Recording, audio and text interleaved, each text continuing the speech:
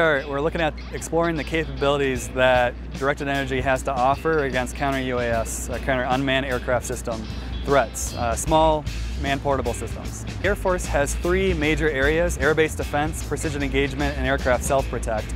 This is the first uh, probably near-term low-hanging fruit that we can actually get after as we start opening up the bottleneck for directed energy, transitioning it from the S&T side of the house to operationalizing it. Yeah, so we have a high power microwave system and a high energy laser system.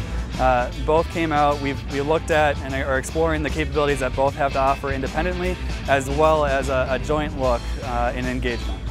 So your laser engagement is really going to be a, a, thermal energy disposition on the target. So you require the energy to heat up on that target to be able to destroy it. So uh, you, you, heard the, the laser comment. Uh, most of the time we, we actually hit that and it actually burns a hole, a kinetic effect where it actually drops it out of the sky because of that burned hole. With high powered microwave, it may be a little different. It may just interrupt the actual performance and the, the, weapon system will have to go back to where it came from.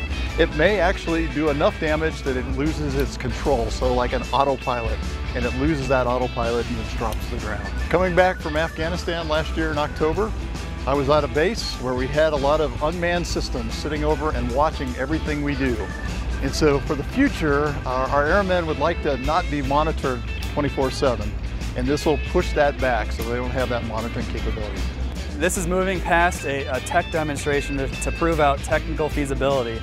This is really looking at exploring the, the doctrine, the policy, the, the training necessary when we, when we go out and take these systems into field, do we have the right concepts of operation, the tactics, techniques, and procedures in place to actually use these systems?